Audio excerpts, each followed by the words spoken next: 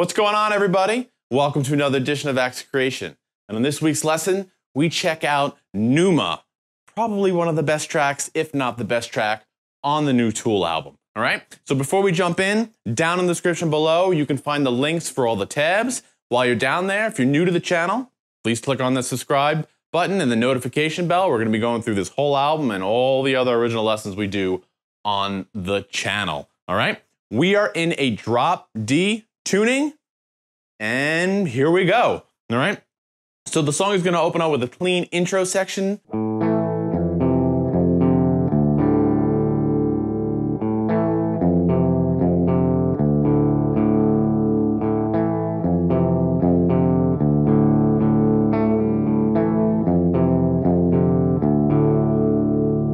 There is our clean intro, right? So you can hear it's four phrases. Every other time is slightly different. So it's open A and then the rest of the power chord.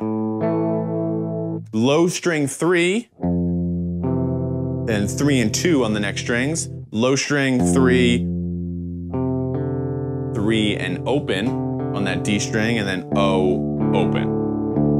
Kind of picking out the power chords. Right?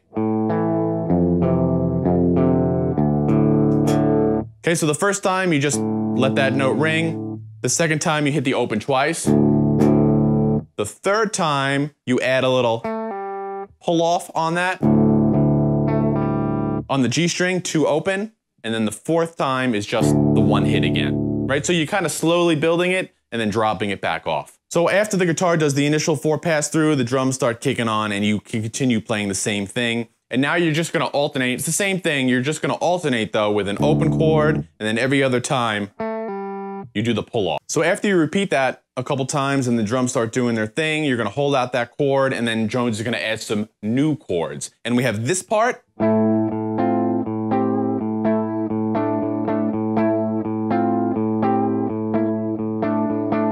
Right? So it's open A 7 9, open A 10 10 open A, 10, 12, back to the first chord, and then 077. 7. Okay? So as you play through it four times, on that last time,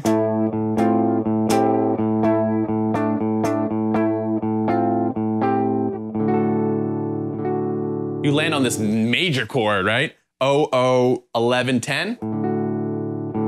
And then Jones swells in with the open A and open D. And that's when the song kind of starts. We've made it through the intro of the song, the bass kicks in. Now the timing of this riff is difficult. It's two measures of 7-4 and then a quick measure of 5-8. Okay, so it's a slow seven count. One, two, three, four, five, six, seven. One, two, three, four, five, six, seven. One, two, three, four, five. One, two, three. So it's it's schism inspired. You know, you have that that kind of vibe, and you have this that kind of feel. So it's it's I definitely hear the schism influence, and schism was seven and five as well, but it was seven eight and five eight. So this is seven four seven four five eight. Okay, and you're playing with the delay, and you're essentially playing off a dotted quarter note feel, right? Which gives you a down, up, down, up kind of vibe and you're just, we're playing with the delay, so we're just playing chord stabs. Okay, so you have this riff.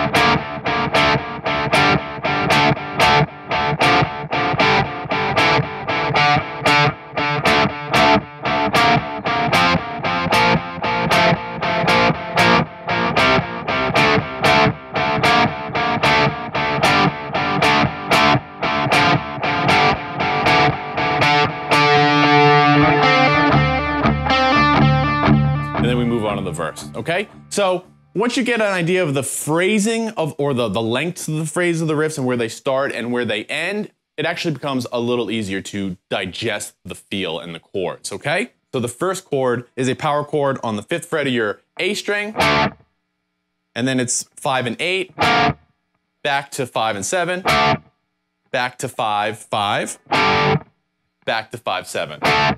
And then when you land on that chord, you're gonna get, get, and that second hit is the downbeat of one. So we have one.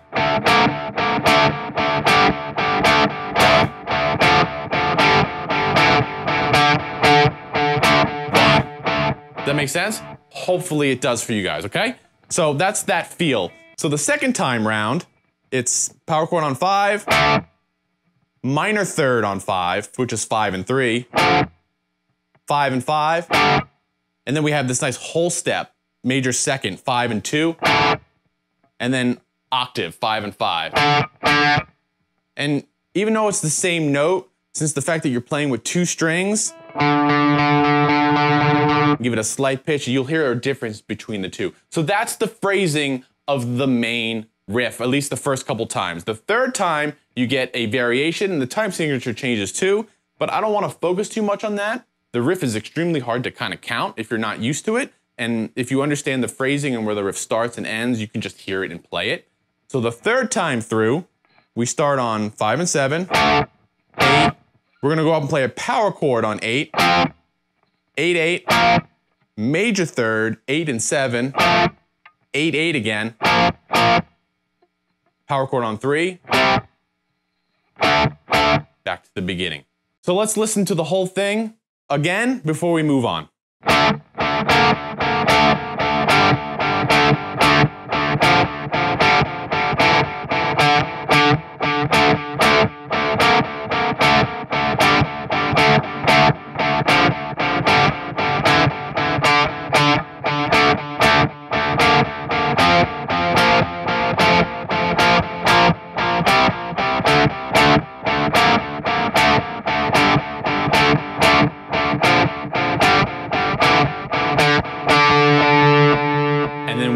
Into the first verse. Okay? So the first verse is tricky to hear, and you basically have this pattern low string open, hammer on 10 12 on the D.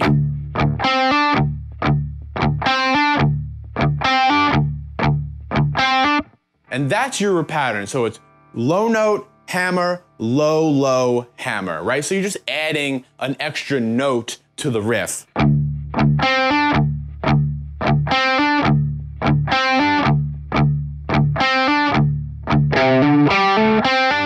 After you do it twice, you do a little 10, 12, 10, 12, 10, 12. Very Jones, very simple. So you have.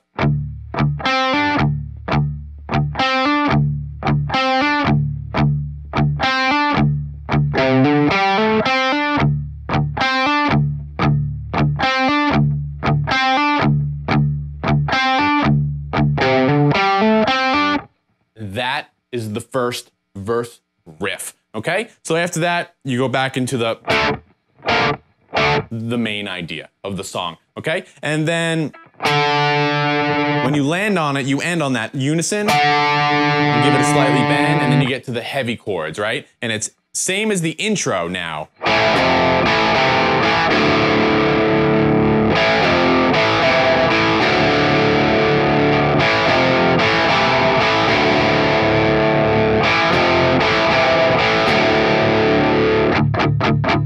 He doesn't do that until later. So those those heavy chords are A, three on the low string, and then A, and it's basically a C chord with that A in there. So it's three, two, two. Low string open. Eight times, repeat, okay? It fades out, you go back to the bass line, everything kind of starts over again, that the song structure wise, right? You go into the second verse, then you go into the main idea and the heavy chords, that all repeats. The only difference that we need to talk about between the two sections is the second verse riff. It's actually the same as the first one, we're just not playing here on D string 10, we're now playing A string 3. Same idea though.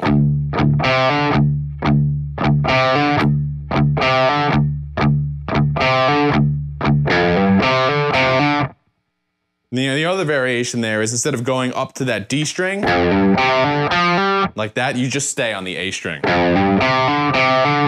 Like that. So it's.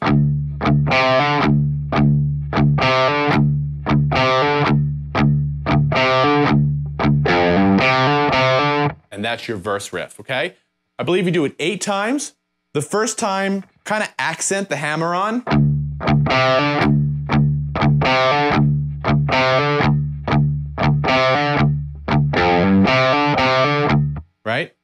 And then mute mute it more as you go forward and the kind of vocals drop out in the second half.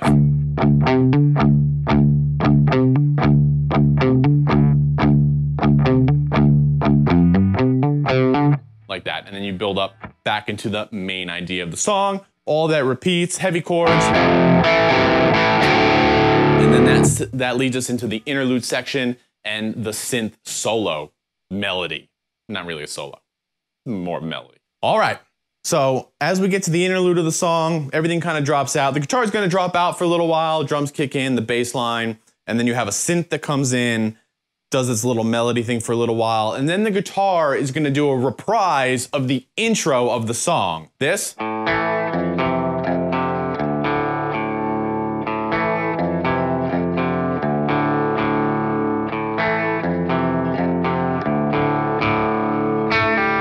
Right? That whole section is gonna come back on this part. And then a little simple melody comes in.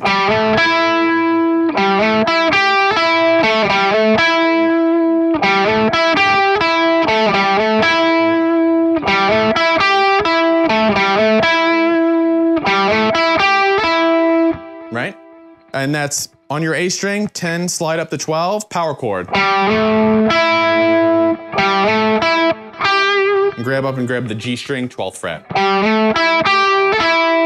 And then you let that note hang.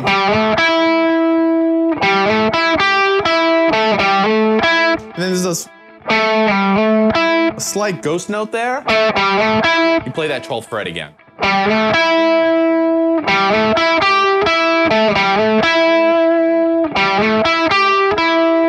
Or you can play your open A if you don't like the way the sound of the 12 sounds. You can do that too.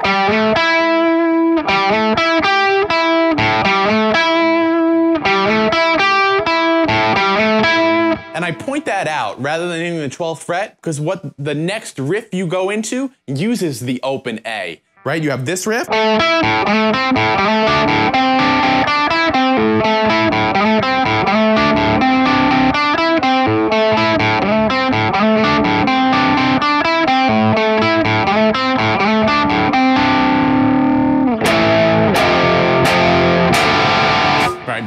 Chord section coming up. That's a really cool riff. You have a power chord on 12, minor third on 12, so that's 12 10, and then 12 12, and then that cross string again with the whole step 15 12, and let that ring.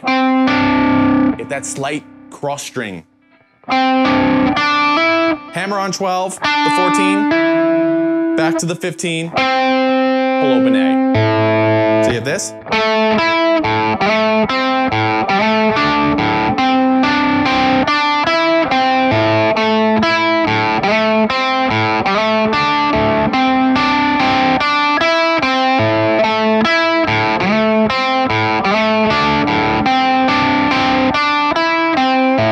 Like that.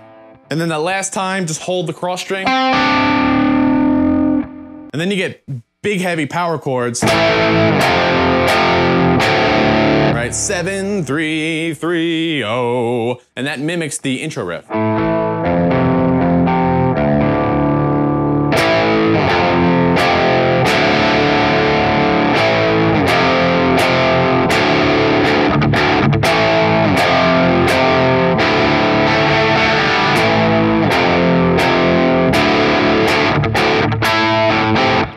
Like this section of the song because you got the big heavy cat power chords.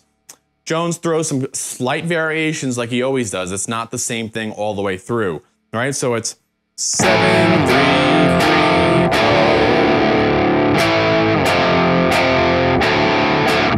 oh. One of those. And the second time, so it's you can do dead notes or open. It goes by pretty quick, whether you're palm muting open notes or slapping dead notes. Really doesn't it's kind of inconsequential.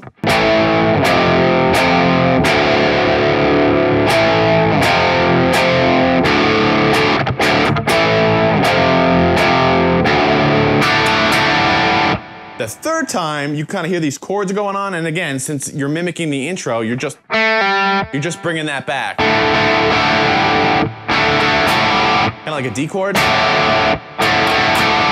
One, two, three, oh. And then the fourth time is the same as the second with the.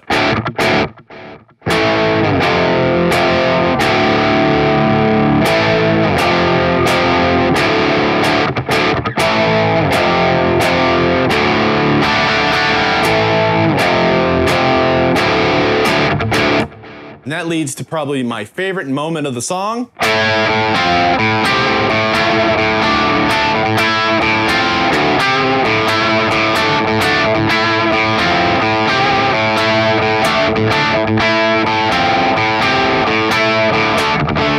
And that leads into the 16th note. But I love that. I mean, it's the same thing he did in the beginning of the song, but this. That's one of my favorite aspects of Jones's playing. The way he just adds these really simple chords. But the melody is there, the rhythm is there, that mimics the whole song. Really reminds me of Push It, the outro section, and what he does there. Just one of my favorite aspects is, playing, is little simple things like that. And then we're gonna transition.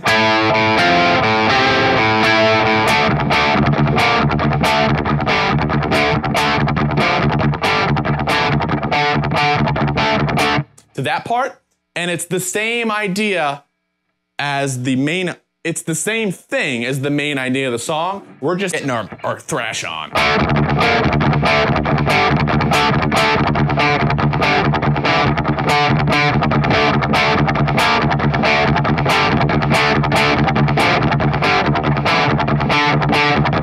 So then we move into this awesome power chord section, right? Really heavy, really groovy, just really awesome feel in the song. And it's.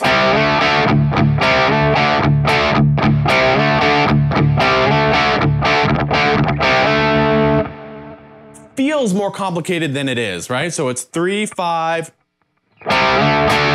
chug, chug, three, five, five, chug, chug. Like that. And then you just do that essentially you, you, repeat it, but that last phrase, you do a little like that. You just do a little 16th notes. Two, four, three, five. And then it's three, three, three, five, ten, oh.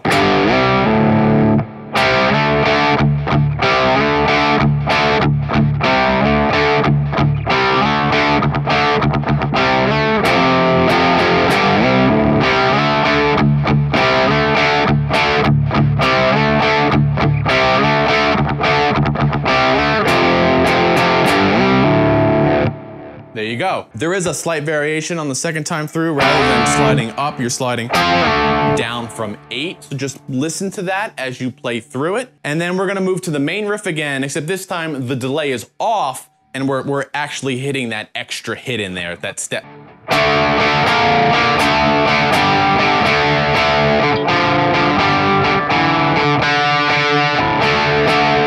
All right, so we're putting that, that extra into that part. Right, so you, you play, again, there's nothing new there except just that part. We just, you take off the delay and it's heavy. And then you get the heavy chords again. And we have a repeat, a reprise of that. Okay, and this is when Jones overlays a mini outro solo over it. Okay, so there are some variations. The one rhythm guitar just plays the straight chords until the end of the song, and we'll talk about that. And then overlaid, you have this. First time you put some open string chugs. Second time is normal. Third time, you hit the, the octave there on the A string.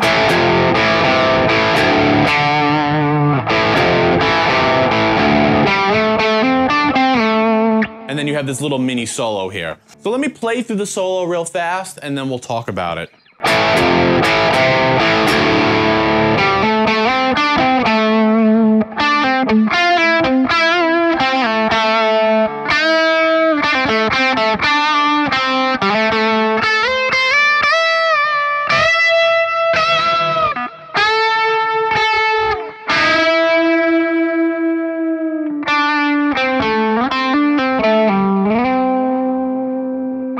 That's your little outro solo, and then you have the.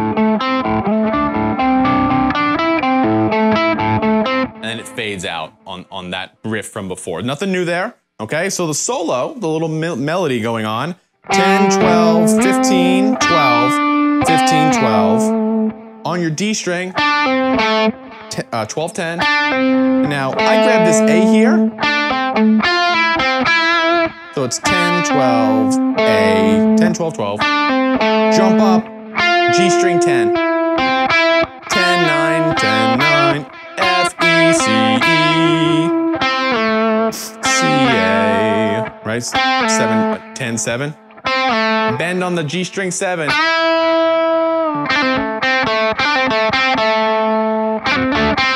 Typical.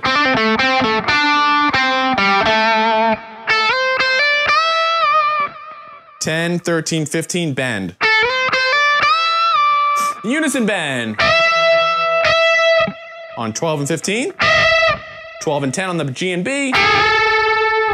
7, 5.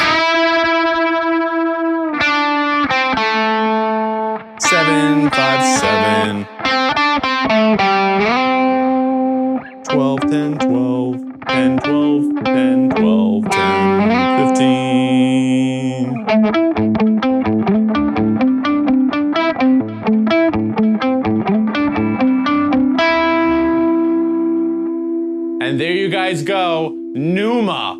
The best song on the album. Don't know if it's my favorite, but it's an awesome song. Really awesome track. You, they put a lot of time and effort into it.